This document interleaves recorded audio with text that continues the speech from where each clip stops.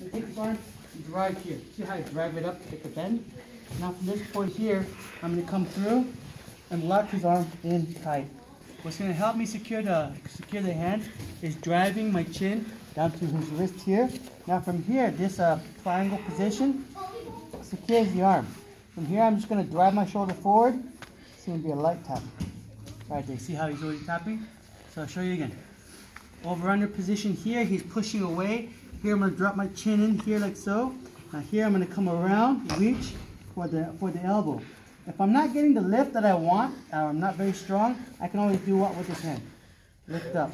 Lift up here, get the turn, drop, come through.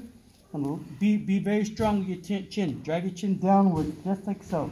Now from here, I'm gonna drive my shoulder forward, and I get the I get the wrist lock. You guys understand? Yes. Yes, brother.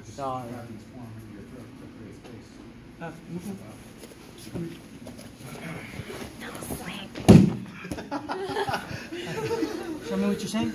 So Okay, now this right here, see how he's doing it straight right here? Something totally different. I wouldn't even attack it.